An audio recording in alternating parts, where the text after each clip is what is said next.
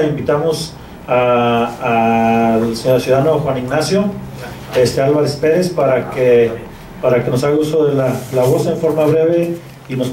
Gracias a todos.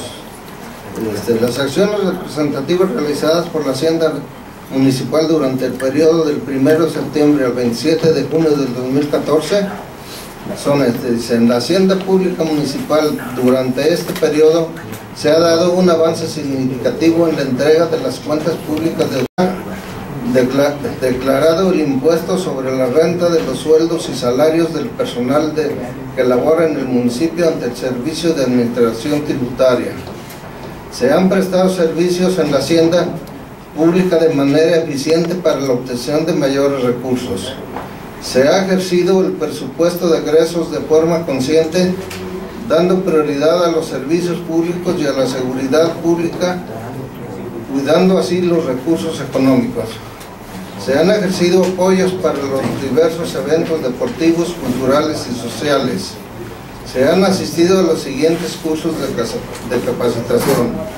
Armonización contable para los entes públicos del Estado de Jalisco con un valor curricular de 36 horas celebradas entre el 21 de octubre y 20 de diciembre de 2013 por la Secretaría de Planeación, Administración y Finanzas y el Congreso y, perdón, y el Consejo de Armonización Contable del Estado de Jalisco. La obra pública municipal con recursos federales y presupuesto público 2014 con una duración de 12 horas impartidas en octubre del 2013 por la Auditoría Superior del Estado de Jalisco. Sistema Informativo Estatal de Auditoría, obligaciones y responsabilidades de los servidores públicos, Fondo de aportaciones para la, infraestructura social municipal, Fondo de aportaciones para el fortalecimiento municipal, impartidos en el, en el aula de capacitación de la Auditoría Superior del Estado de Jalisco con una carga horaria de 15 horas. Se ha asistido a las asesorías para la elaboración del presupuesto de egresos 2014, así como para la iniciativa de ley del ingreso 2015. Lo anterior con la finalidad de estar actualizados en las reformas a la ley de la contabilidad gubernamental y cumplir correctamente con las comprobaciones de los programas federales, estatales ante las dependencias respectivas. Este, además de eso, pues aquí nos encargamos de la administración de, de los ingresos federales, estatales y municipales. Este, nos hacemos cargo de pagar pues todos los gastos del municipio, así como, como de materiales de construcción para las obras públicas, refacciones de vehículos, papelería y en sí todos los, a grandes rasgos todos los gastos del municipio. Este, a grandes rasgos pues es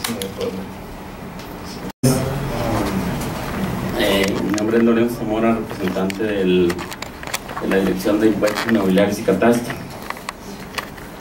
Y bueno, tratando de ilustrar un poquito lo que se realiza en esta oficina, eh, la función principal es resguardo, archivo y manipulación de los bienes inmuebles del municipio, tanto este, los registrados para el federal, para el agrario, en fin.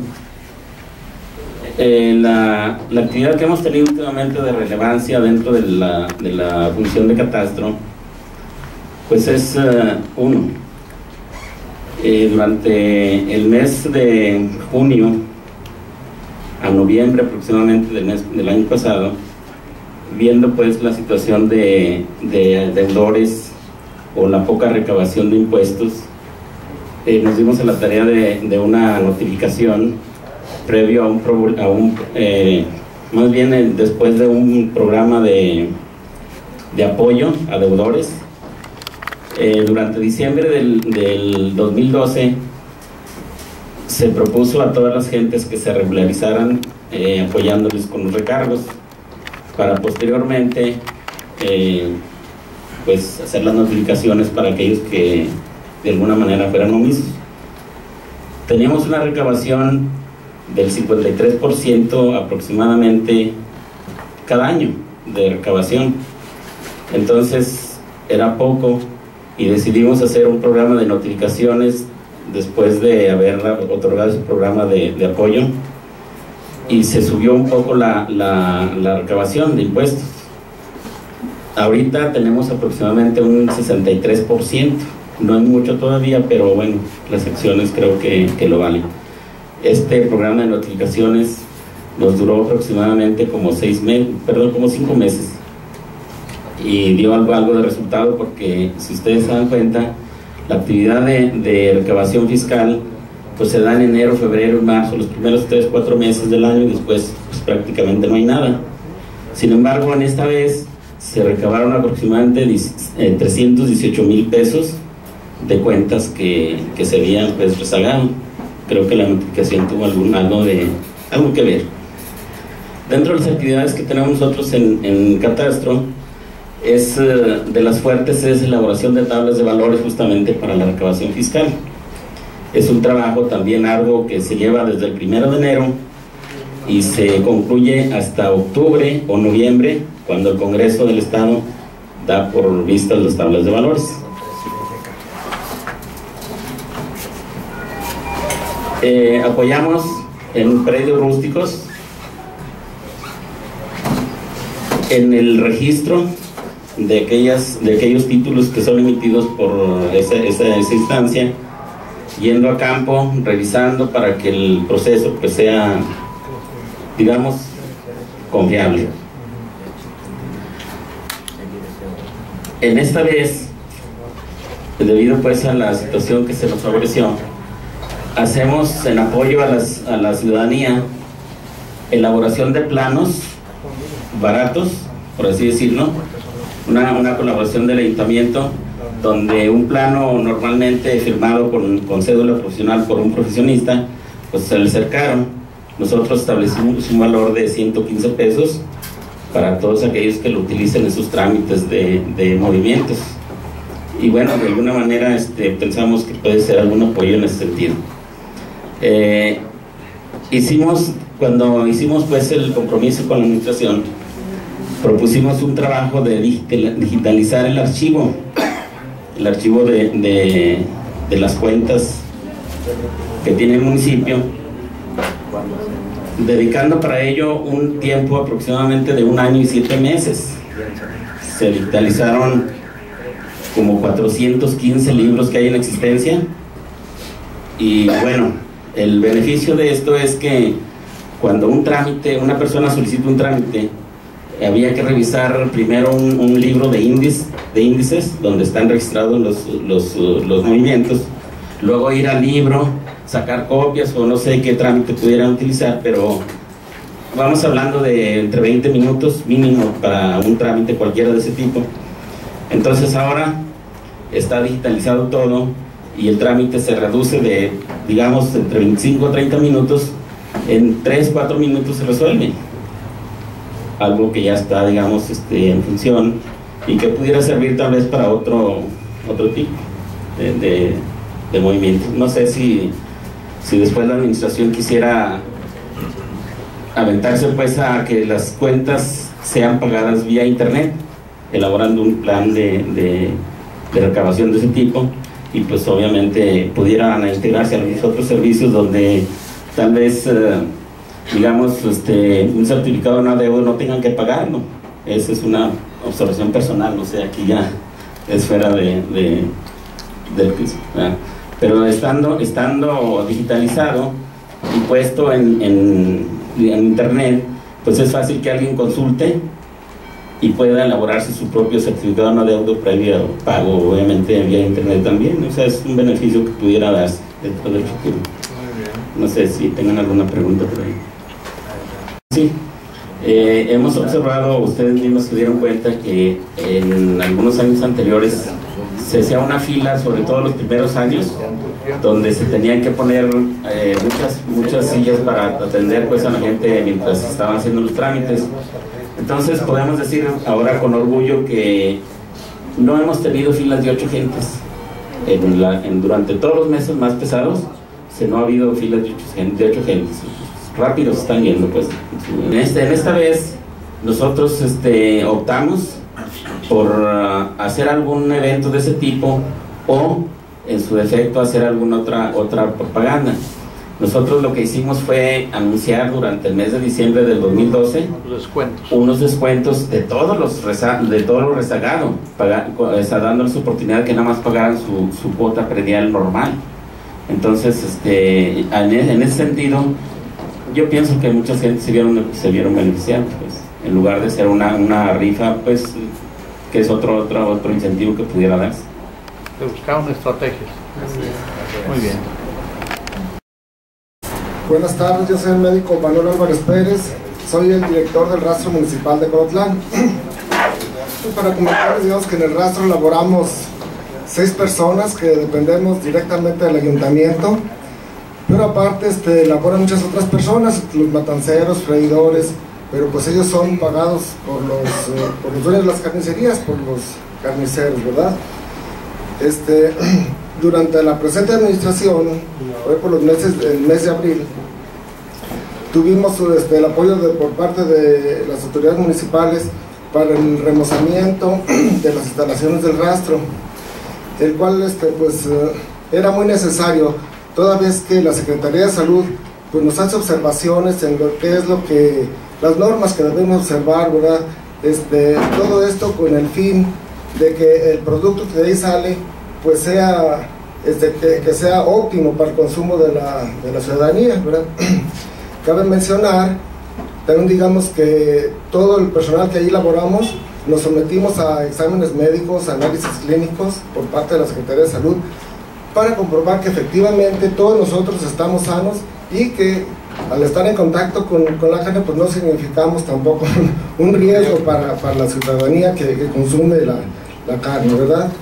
Este, periódicamente tenemos pues este, las visitas de la Secretaría de Salud y pues por fortuna en general casi siempre salimos, salimos bien librados. Si hay algunas observaciones, pues le ponemos remedio a, esta, esta, anomalía y, pues ahí tratamos de que todo, de que todos, eh, observar digamos, la mayor inocuidad en, la carne que de ahí sale. Para dar algunas, eh, algunas cifras, este, ¿Perdón? Sí. Este, del mes de septiembre del año pasado al, al mes de junio, al día de hoy, tenemos que, digamos, en cerdos se matan entre 430 a, un rango de 430 a 500 cerdos. Llevamos de septiembre a la fecha 4.841 cerdos sacrificados.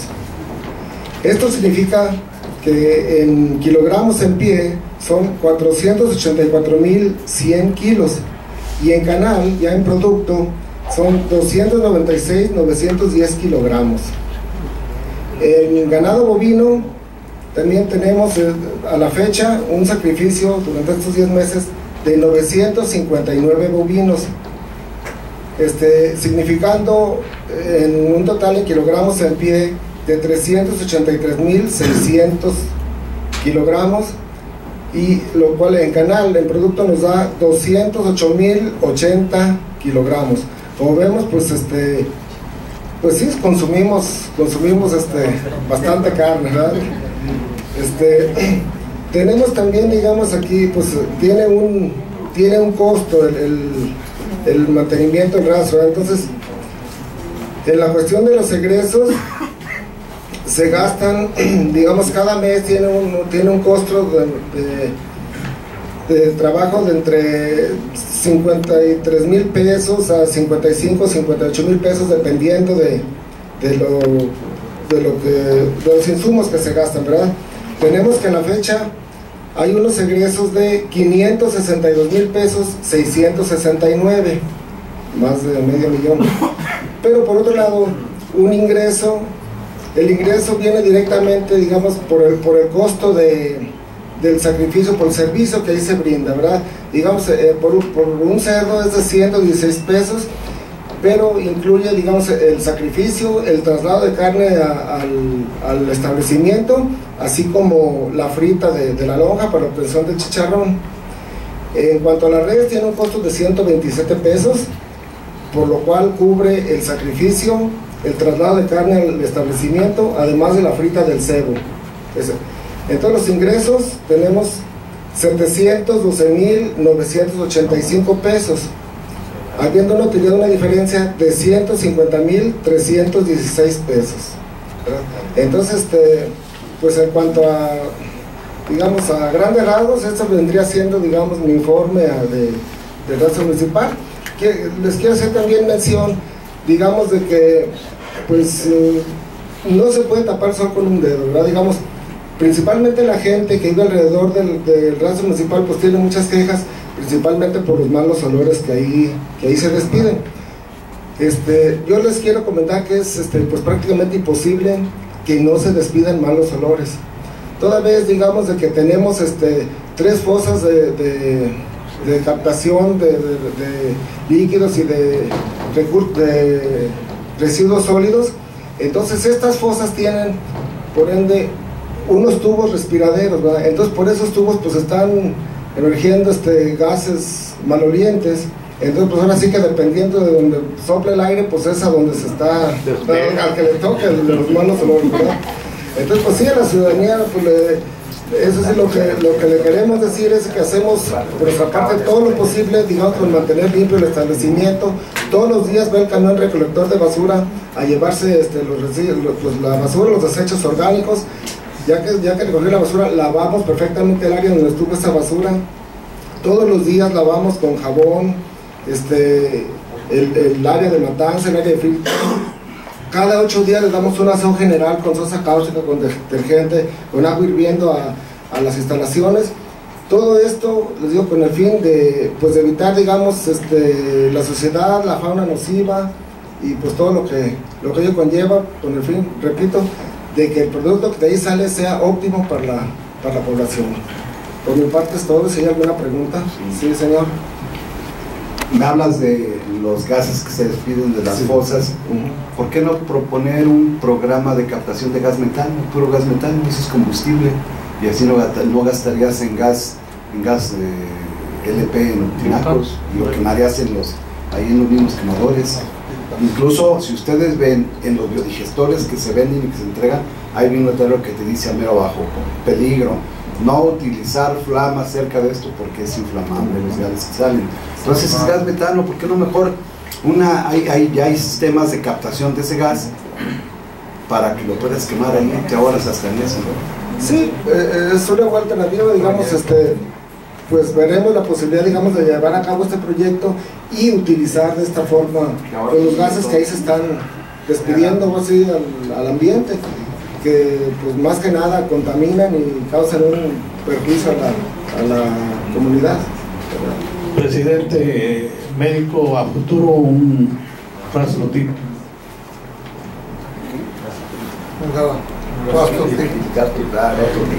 Bueno, hay, este, por de acuerdo a la, al movimiento que existe en la región, aquí pudiera hacerse un tipo TIF. De hecho, se han metido proyectos, entonces ojalá y se, se lograra obtener un recurso de ellos. Pero bueno, yo creo que aquí debemos de ser conscientes con nuestra realidad y lo que debemos de hacer es tener en óptimas condiciones las instalaciones que ahorita tenemos y no quitar del renglón de, de que un día llegue un recurso para otro tipo de rastros y en otro espacio. De norte de Jalisco y sur de Zacatecas pudiera bien ser. Sí, así es.